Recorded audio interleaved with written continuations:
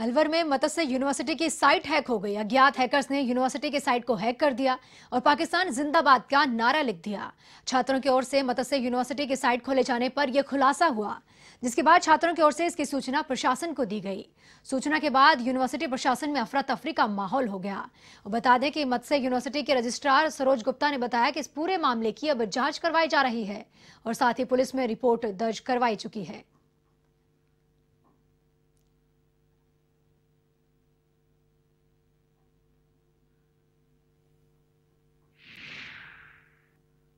देर पहले मुझे सूचना मिली कि मत्स्य यूनिवर्सिटी की वेबसाइट हैक कर ली गई है और उस पर पाकिस्तान जिंदाबाद के नारे लिखे हुए हैं।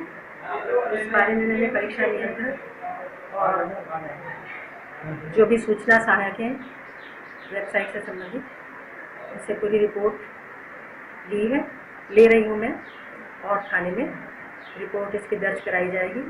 मुझे अभी ये भी बताया गया है कि अब वो हैक नहीं है सही हो गई देश और दुनिया की हर छोटी बड़ी खबर के लिए सब्सक्राइब करें एवन टीवी न्यूज़ साथ ही बेल आइकन को प्रेस करें ताकि आप पा सकें ताज़ा खबरों की नोटिफिकेशन